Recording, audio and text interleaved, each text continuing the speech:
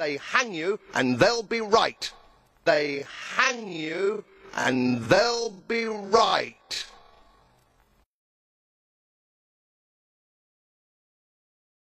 Thank you very much. Mr. Bloom, in one minute.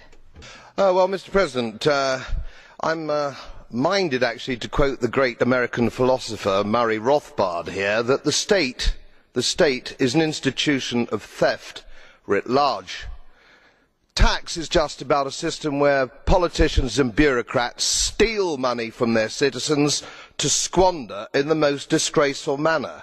This place is no exception fascinatingly and i really do not know how you manage to keep a straight face when you are talking about tax evasion the whole commission and the commission bureaucracy avoid their taxes. you do not pay taxes like citizens pay taxes. You have all sorts of special deals. Composite tax rates uh, high tax thresholds non contributory pension schemes you are the biggest tax avoiders in Europe, and here you sit pontificating. Well, the message is getting home to the people of the European Union. You are going to find that Eurosceptics are coming back in June in ever greater numbers. In ever greater numbers. And I can tell you worse, as the people get your number, it won't be long before they storm this chamber and they hang you, and they'll be right.